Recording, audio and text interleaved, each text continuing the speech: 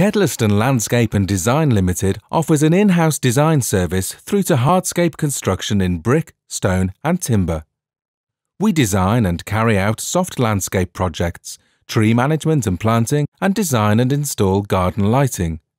We also offer a range of beautiful bespoke timber gates with full automation and CCTV options. We find the exact needs of our clients and design exquisite bespoke solutions to meet those needs with real-world affordability. Our success comes from the relationships we form with our clients. From the first consultation through the whole design and planning process, the client is involved and kept informed every step of the way. By doing this, when we come to create the garden, our clients are assured that they have been listened to and understood, and their needs and ideas have been respected. So, give Kedleston Landscapes a call today.